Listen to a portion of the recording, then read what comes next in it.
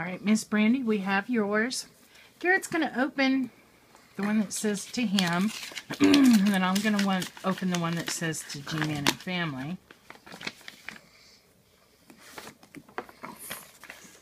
Need a little help there, buddy? Hold on.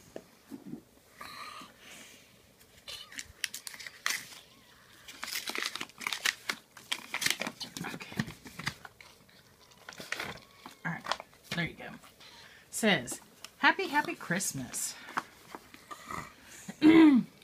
G-Man, Mama, and siblings, hope your Christmas is the happiest redneck Christmas ever. No yuppie Christmases.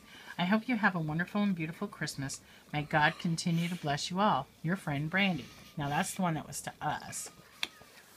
And then, hey, Jack, it's Christmas. Mm. G-Man. And you can't spell Merry Christmas without S-I.